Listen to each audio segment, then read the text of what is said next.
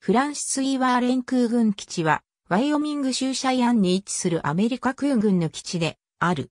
LGM-30G 大陸間弾道ミサイルを運用する第90ミサイル航空団が所在している。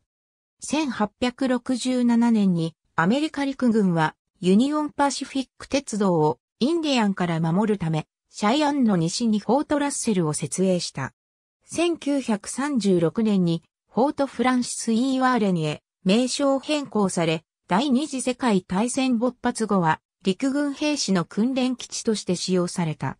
第二次世界大戦後、ワシントン州スポケーンのガイガーフィールドから航空技術訓練センターが移住、アメリカ陸軍からアメリカ空軍が独立後に、基地はフランシス・イーワーレン空軍基地に名称変更された。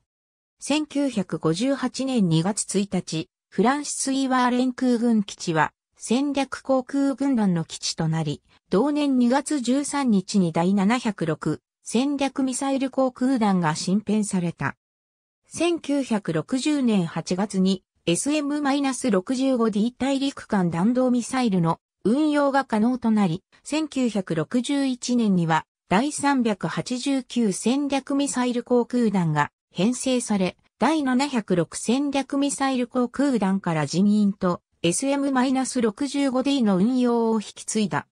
1963年7月、第90ミサイル航空団が再編成され、SM-65 に代わって LGM-30B 大陸間弾道ミサイルの運用が開始された。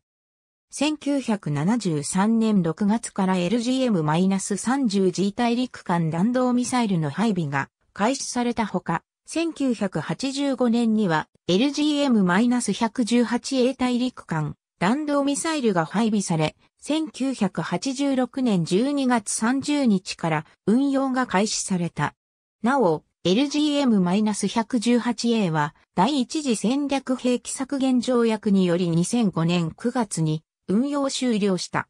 1993年にカリフォルニア州バンデンバーグ空軍基地から第20空軍が移駐した。フランシス・イーワーレン空軍基地は1989年7月14日に土壌汚染等によって軍事スーパーファンドサイトに登録されている。ありがとうございます。